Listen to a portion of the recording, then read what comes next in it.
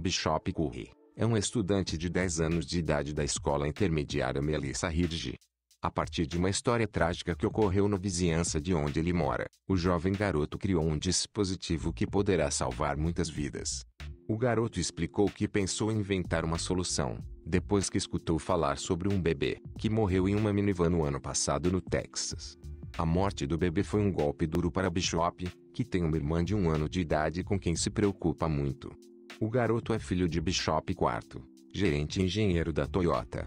Por isso, o pai de Bishop sabe melhor do que a maioria das pessoas o que acontece quando os carros ficam sob os raios de sol e o perigo que isso representa para crianças, que são deixadas dentro desses carros por longos períodos de tempo. Às vezes os bebês estão dormindo muito tranquilos e quietos, e você está com pressa para chegar em casa depois do trabalho, ou tem que ir rapidamente até uma loja. É comum ver os pais esquecendo seus filhos no veículo, assegurou o pai de Bishop. Foi por isso que Bishop colocou a mão na massa para dar vida a uma invenção que já passou da fase de testes. Ele construiu um protótipo de argila, e já está com uma patente provisória.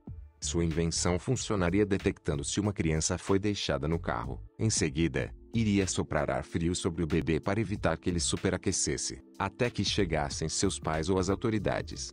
O aparato fica fixado ao assento, e também manda um alerta à polícia e aos pais pelo celular, para que eles saibam que a criança está presa. Ele e sua família viajaram para a conferência anual do Centro de Prevenção de Lesões em Filhos, em Michigan, para apresentar a ideia que foi recebida com muito otimismo pela comunidade.